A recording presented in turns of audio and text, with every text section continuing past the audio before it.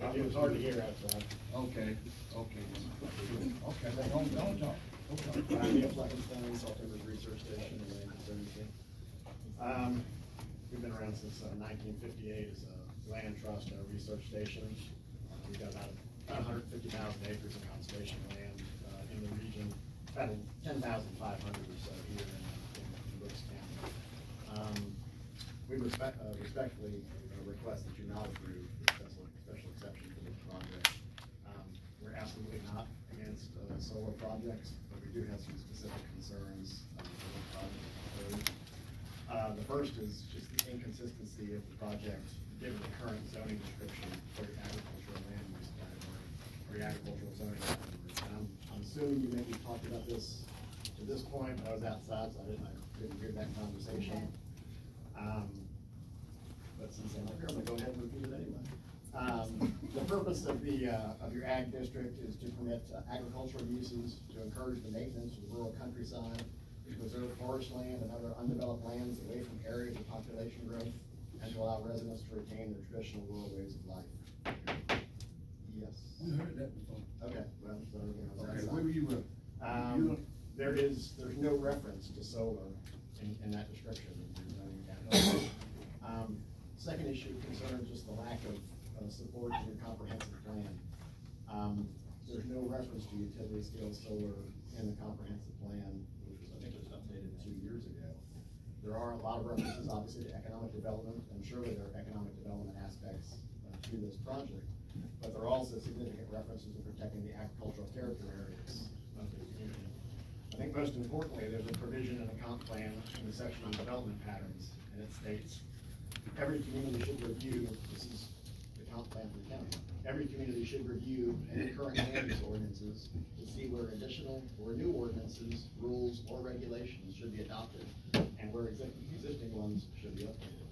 I think that applies to this situation, because you're looking at a special exception that covers seventeen hundred acres. Um, and there's, again, there's no guidance in the current zoning or the current comp plan to deal with that. So that's specifically what that provision is for.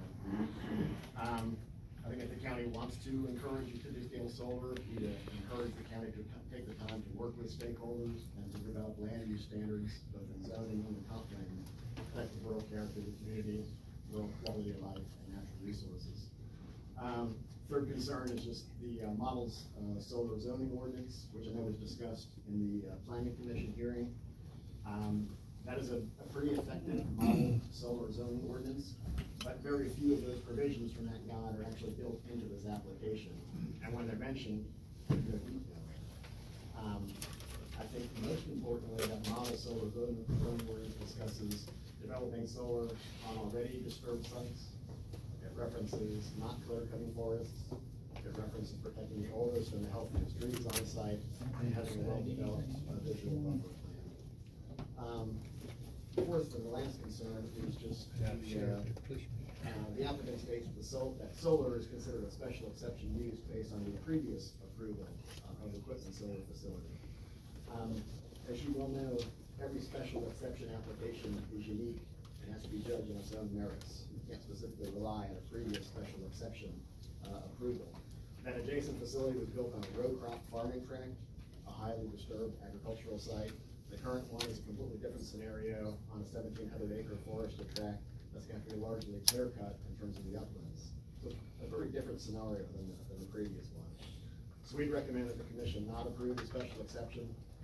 Uh, instead, we'd, uh, we'd ask that you adopt a short-term, uh, solar energy facility moratorium.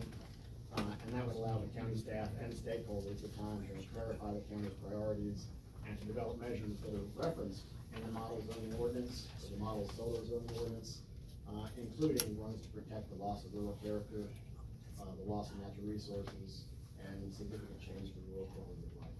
We appreciate your time. Okay.